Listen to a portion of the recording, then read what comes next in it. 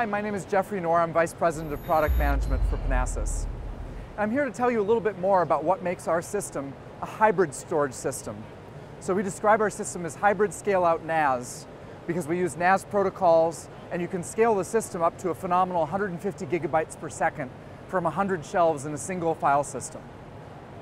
The cornerstone of the product in many ways is the storage blade, and that's what I'm going to talk to you about here. So what you can see next to me is, a, is an ActiveStor 16 storage blade, and you can see two types of storage media. At the left are two high capacity six terabyte hard drives, and on the right you can see a small, much smaller, both physically and capacity wise, solid state drive, which is a type of flash. What we do in the, in the ActiveStor system is we automatically look at the sizes of the files and the type of data being written to the system. And if it's a small file, or if it's metadata, we automatically tier it to flash. If it's a large file, we actually write it to disk. Now, why, go, why go to all that effort? Well, flash is a very important innovation in data storage right now.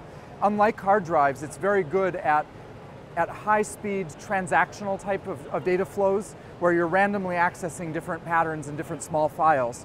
Whereas on a hard drive, the hard drives have to seek around and it takes time to find that data.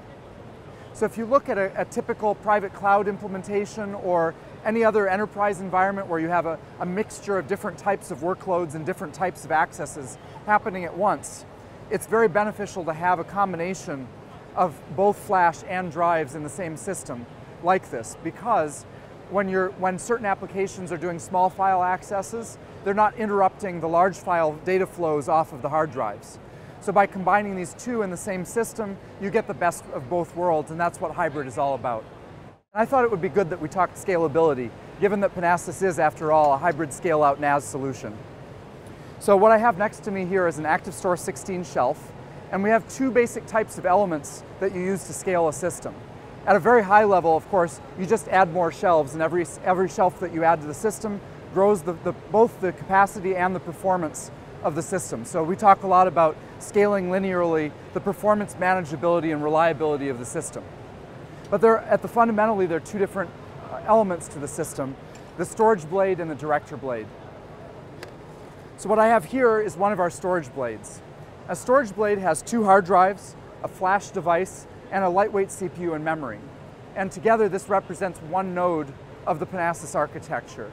Every storage blade that you add adds more capacity and more performance to the system. The other type of element in, the, in a Panasas system is the director blade.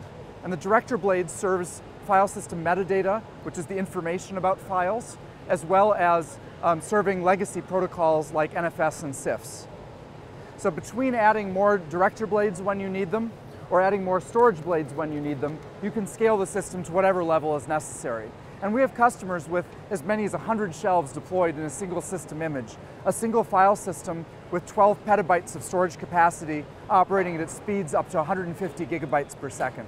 Next, let's talk more about manageability, what makes our system so easy to both deploy and manage. A lot of this comes down to the user interface. We have customers that have a half-time system administrator managing uh, more than 12 petabytes of storage. So if you look at the, at the, at the management console, um, what you'll see is really all of the information that you might need at your fingertips. Let's start by looking at, at a virtual view of the hardware. You can see everything that you need to know. Everything is green, but if there were errors in, in the way of failed hard drives or any other types of hardware events, those not only send alerts to, the, to, um, to whatever uh, email lists that you might set up, send SNMP traps, um, but you'll also see a visual display of, of the element of the hardware that's, that's having an issue. You can tunnel into any of the, any of the individual blades or hardware elements, see you know, see everything from CPU uh, temperatures to uh, hard drive serial numbers and makes and models, all sorts of diagnostic information. The same thing applies to performance. Other, other types of information that's readily available, you can see uh, the, the, the, current activity, the CPU utilization, operations per second. You can even run reports to show you know, what, in, what, in what direction is my capacity utilization headed so that you know when it's time to give Panasas a call um, to order more storage. So we've really automated a lot of the steps that, that with in, in, in another product, like with an open source parallel file system, would be much more difficult to manage. When you, whenever you're dealing with uh, something that's not an appliance, where it's a separate software layer that's for, for, the, for the file system and then a separate hardware management, that's difficult to deal with because the file system doesn't understand the hardware and the hardware doesn't understand the file system. In the Panasas case, everything was designed together to work cleanly and smoothly. And that's why it takes less than 10 minutes to get the initial ActiveStor shelf up and running once you have it racked um, in the rack to the first file system mount on a Linux client. Next, let's talk a little bit about the director blade. So what the, what the director blade does is a combination of tasks, actually. The most important thing that it does is to serve up metadata for the whole file system. So metadata is the information about files, where they reside, um, who owns them, what the sizes of them are, characteristics like that. And when you have hundreds of millions, maybe even billions of files, being able to transact metadata quickly is one of the most important tasks of a file system. And, and what we have with the director blade is the capability to scale director performance, metadata performance, just by scaling the number of director blades in a system. The other function that director blades perform is they actually are also the, the pathway into the, into the file system for standard legacy protocols. So you may know about Panasas for our direct flow protocol where we allow direct access between the compute clients and the storage. Well, with direct flow, you don't have to go through any sort of a filer head to, to speak to the storage. You just ask the director blade for a particular part of the file system which storage blades you should talk to and everything else happens directly.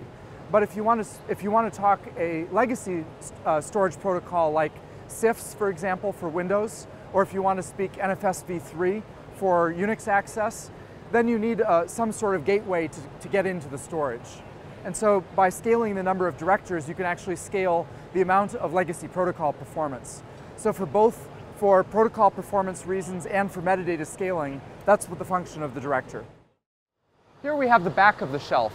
So still an ActiveStor shelf, still gives you all of the scaling that we talked about in terms of the storage and the director blade, but what goes on back here? So of course there, there are two redundant power modules because everything about data storage needs to be you know, no single points of failure if you want to have an enterprise experience. And then we also have a battery module that provides the, uh, a redundant power backup in case of the data center power going out. And that allows us to synchronize any uh, pending writes that have been written to RAM memory, which of course is, is volatile memory. So that power protection allows us to write everything to disk and safely shut down the system in case of a power outage. The most important aspect though on the back of the shelf are the switch modules. So the switch modules are what are connected to the customer's network and this is how you actually interact with the, with the storage system. So we have redundant switch modules, a 10 gigabit ethernet port uplink from each of the switches. They're, they're um, trunked together, so port uh, bonded, um, so that you get actually 20 gigabit ethernet worth of performance. Multiply that times you know, scaling, scaling out the system by 100 shelves, that's how you scale out to 150 gigabytes per second.